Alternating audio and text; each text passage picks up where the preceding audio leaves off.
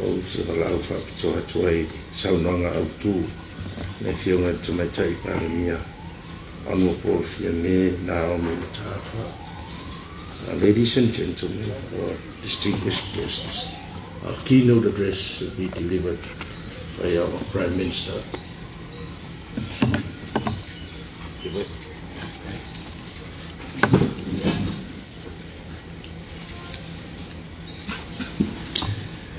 lausunga le taʻitaʻi o le samiga lausuga ioane petaia.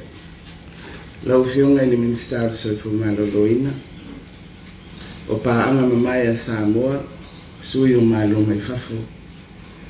Le faaululuga o le soifumālōlōina ma matagaluega o le tatou mālō ua tatou potopoto lenei taeao matagofie e sulaina le alofa ma le aga lelei o le atua ona o lana puipuiga malu o samoa mai fainatā o le faamaʻi ua afia ai le lalolagi atoa e momoli atu le faafetai i le tapuaʻiga tatalo a le atunuu i so o se fata faitaulaga ua wa ai pea le tulaga manuia ua tatou i ai.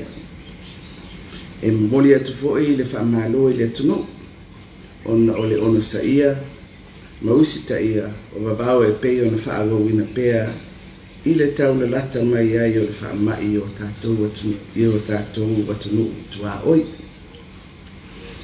o le auga o lenei sauniga i lenei taeao o le momoli lea o le tatou faafetai iā tatou paaga uma ua mafai ona fesoasoani mai. Ua mafai ai ona tatou maua ia tuipuipuia mo tagata uma o le tatou atunuu mo le faamaʻi o le kovite suluiva i le taunuu ai o tuipuipuia e selau sefululua afe mai le mālō i apani i le vaiaso na teʻanei ua ato ai le faitau aofaʻi o tuipuipui mo tatou tagata o le faamoemoe o lenei aso o le faailoa atu lea iā tatou paaga uma. O le tatou faafetai tau ina tala masinei ai le agaga fesoasoani o a tatou paaga mo atu nuu tau ati ae. Ia e ai foʻi ma tatou i samoa nei salo le a liliu ane loa i le gagana faaperetania mo le faamaiaina o lenei tautalaga ona o loo filogia le a tatou paaga mai malo ese ese. Reverend Ioane Peteia, the Honourable Minister of Health, development partners and members of the Diplomatic Corps, Director General, and CEOs of government ministries, ladies and gentlemen. It has been 17 months since government declared a state of emergency due to the COVID-19 pandemic. While Samoa remains COVID-free, we have felt its impact in every corner of our lives. Economies have stalled, we have changed the way we work and interact with our loved ones, and our healthcare systems are stressed. Governments around the world have been forced to implement harsh restrictions on human activity to curb the spread of the virus, while we have put restrictions in place to keep the virus out. We continue to follow all preventative measures as advised by our public health authorities, like wearing of masks, frequent washing of hands, and phys- physical distancing, as we are still not there. COVID 19 vaccines, never before developed at such a pace and given emergency approval, are now offering a way to transition out of this phase of the pandemic. Without them, natural herd immunity will not be able to sufficiently restore our society to its normal status quo. We know that getting vaccinated helps to break the chain of the spread, reduce the variants, protects others, and promotes assurance that even if we do get sick, the severity of the disease is minimal. Our healthcare workers and the public health experts persist with the task of educating our people as this helps to build trust in the decision to offer vaccinations without which we can never return to normal life. Samoa would not be where it is, where it is at, with its vaccinations rollout program without the help of many whom I would like to acknowledge.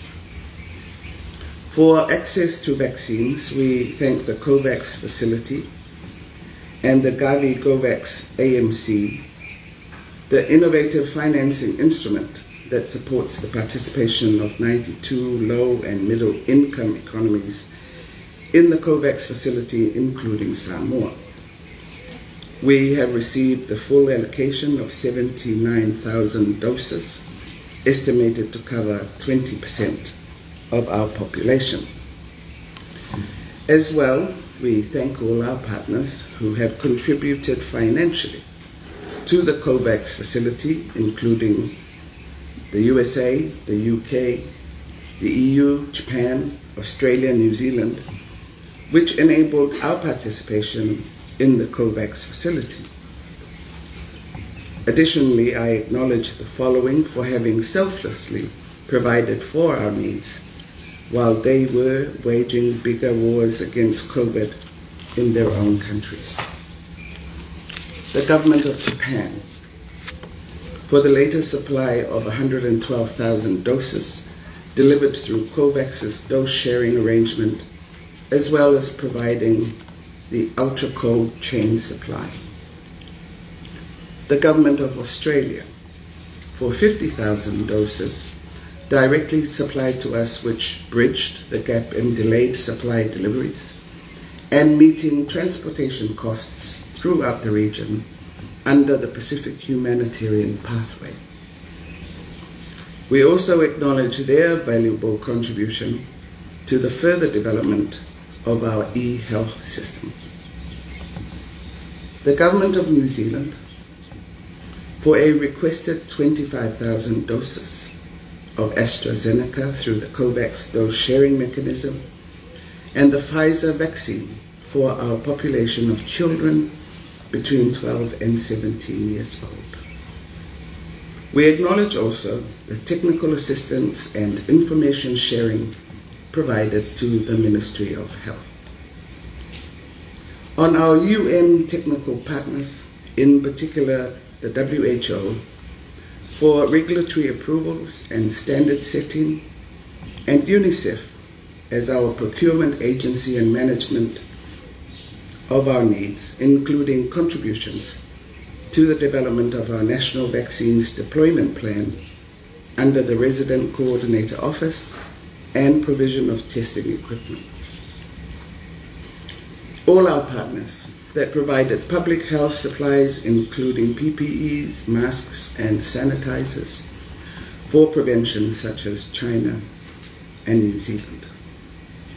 All our partners that provided financial assistance towards addressing our COVID 19 response, including the multilateral financial institutions. This COVID 19 vaccination rollout with AstraZeneca would not have been possible without the close collaboration between the Ministry of Health and all other government ministries under NEOC as well as all our development partners under the National Vaccines Coordination Committee.